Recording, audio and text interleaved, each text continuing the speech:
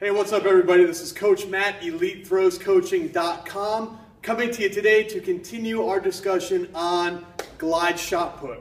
Now, previous couple videos, we talked about how to select the proper size shot put. We talked about how to place the shot in your hand and up against your neck.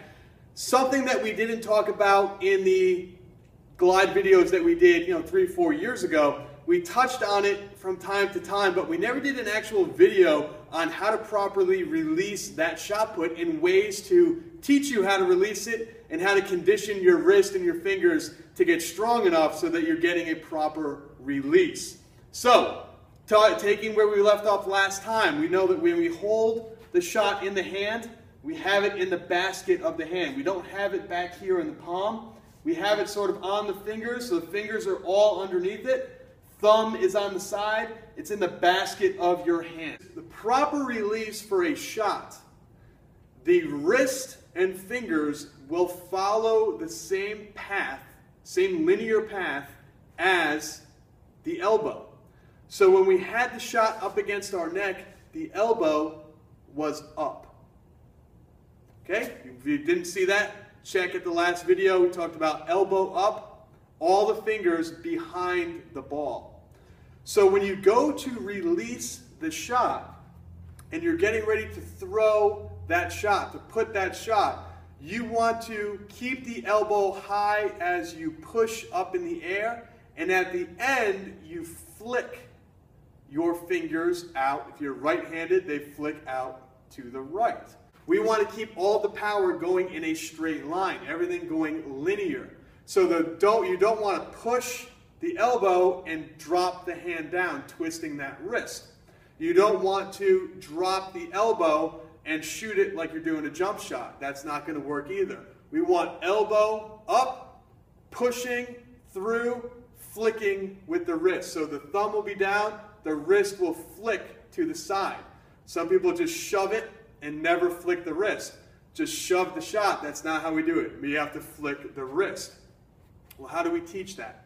What are some good ways to condition our hand, to condition our bodies, making sure we're going through that proper pattern, making sure that we're doing everything correctly?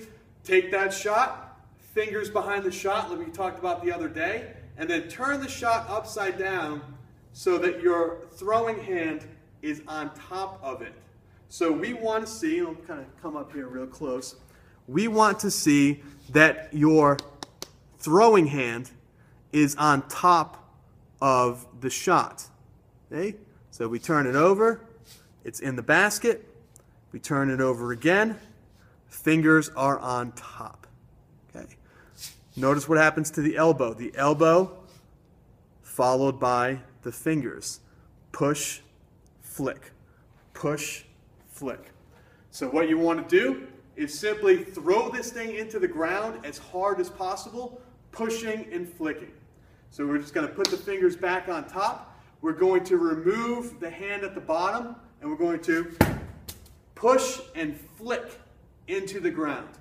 Elbow, wrist, push and flick. Up, push and flick. And you can repeat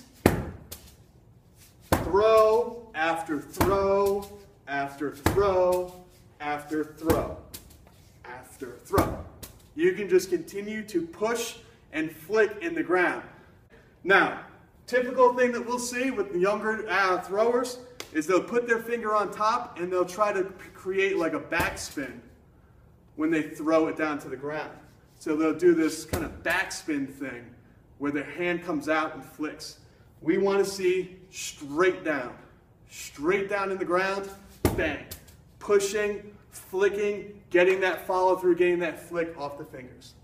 From there, we're going to move on to other standing release drills with the same thing in mind. What I like to do, take my power leg as a right-handed thrower. That's my right leg.